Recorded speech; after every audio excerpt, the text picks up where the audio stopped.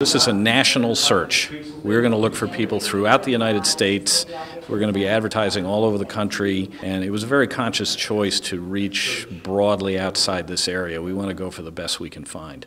The Norwalk Board of Ed announced Tuesday night they are searching for the next superintendent. After about an hour long executive session, the committee drafted a profile outlining the position's credentials. As the committee starts to narrow down their nationwide search, Chairman Mike Lyons says what the Norwalk school system really needs is a strong leader with thick skin. Norwalk is a tough place. Everything here is with a fight. So the candidate who comes in here has to have some thick skin. You got to have the ability to deal with a sort of rough and tumble environment that Norwalk is and still get your job done. The committee discussed compensation will be between 230,000 and 250,000. Although some members are content with the amount, which is slightly lower compared to surrounding school districts, others argue it's still too much. It is almost as if we're giving the next superintendent an automatic raise. So I would rather, considering the normal taxpayer and what's going on in the city, I would rather start the range lower, and that's my.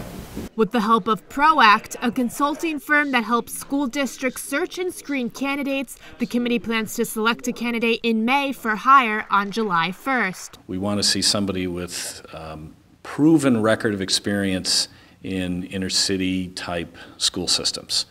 Okay, I would go for that over four PhDs from somebody who's never actually run a school system in a challenging environment. And we want to see somebody who's got a good knowledge of the Common Core because that's you know the biggest change in public education in 30 years, and we want somebody here who knows what they're doing to implement it.